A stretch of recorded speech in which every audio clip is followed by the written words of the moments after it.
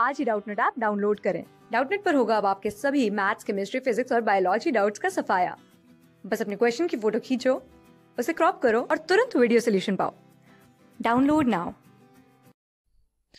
तो हम लोग के पास क्वेश्चन आया है कि which of the following pairs of compounds are functional isomers हम लोग को इसमें से देखना है कि कौन सा पेयर ऐसा है जो कि फंक्शनल आइसोमर है।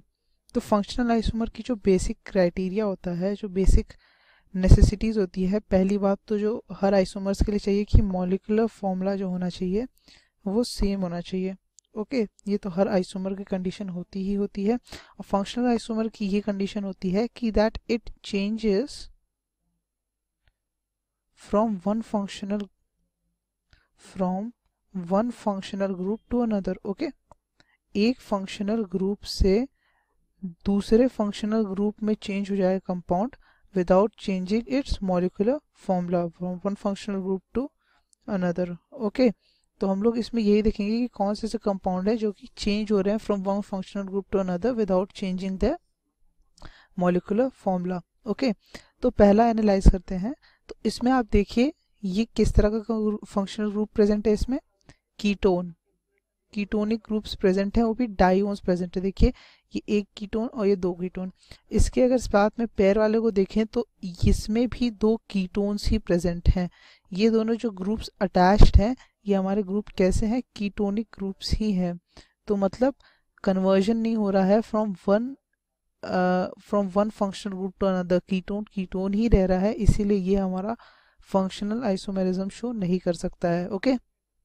Moving on second option देखते हैं तो इसमें आप देख लो, इसमें देखोगे कि दो हाइड्रोक्सी ग्रुप्स तो लगे ही हैं वन टू इसमें भी दो हाइड्रोक्सी सेकेंड वाले में भी दो हाइड्रोक्सी लगे ही हैं वन एंड टू बट आप इसमें एक चीज़ नोटिस करो कि बाकी पूरा स्ट्रक्चर सेम है अदर देन दैट कि अदर देन कि इसमें एक ऑक्सीजन बॉन्ड एक्स्ट्रा है बट इसमें there is no oxygen okay इसका क्या मतलब है?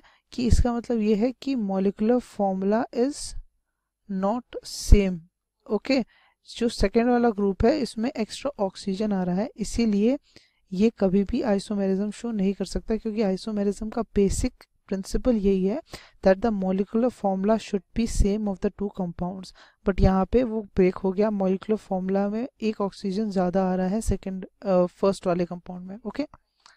थर्ड वाले की बात करते हैं हम लोग। थर्ड वाले में देखिए, जो ये ग्रुप है this group is known as ester okay ester और यहाँ पे भी जो ग्रुप प्रेजेंट है this is also ester ester का जो जनरल फॉर्म होता है, वो इस तरह से होता है, मैं यहाँ लिख दे रहा हूँ। Ester is generally somewhat like this R C double bond O O N R dash और यही यहाँ पे बना हुआ है। फंक्शनल ग्रुप में चेंज नहीं हो रहा है, इसीलिए फंक्शनल आइसोमेरिज्म शो नहीं कर रहे हैं। बट अगर आप ध्यान से देखोगे तो इधर देखिए कि ऑक्सीजन के साथ सिर्फ़ एक सी एच थ्री का ग्रुप जुड़ा था और यहाँ पे आपका सी टू एच फाइव जुड़ा हुआ था। बट जब इस वाले कंपाउंड में आए तो इस ऑक्सीजन के साथ यहाँ पे सी टू एच फाइव जुड़ जाता है और यहाँ पे सी एच थ्री हो जाता है। तो बेसिकली ये सब, ये दोनों कंपाउंड्स क्या शो कर रहे हैं? They are not showing functional isomerism but they are showing tautomerism okay bivalent group के अटैच्ड जो भी दो ग्रुप्स हैं, वो अपना अपना चेंज कर रहे हैं structure this is known as tautomerism तो ये फंक्शनल आइसोमेरिज्म तो नहीं शो कर रहा बट टोटोमेरिज्म शो कर रहा है.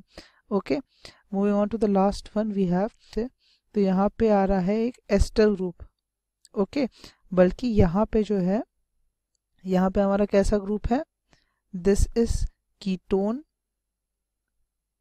plus ketone plus ester.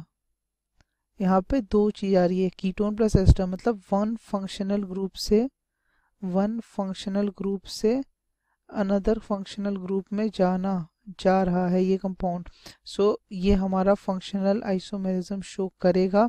So the correct answer will be answer D the last option is the correct option because it is being converted from ester to basically ketone plus ether. Sorry this is ether. Let me correct it. This right here it is not ester it will be ether. This part is the ether part. Okay? So last d option fourth option is the correct answer for this question. Thank you class six से twelfth से लेके NEET I I T JEE mains और advance के level तक। दस million से ज़्यादा students का भरोसा। आज ही डाउनलोड करें डाउट नेट आप या व्हाट्सअप कीजिए अपने डाउट्स आठ चार सौ चार सौ चार सौ पर।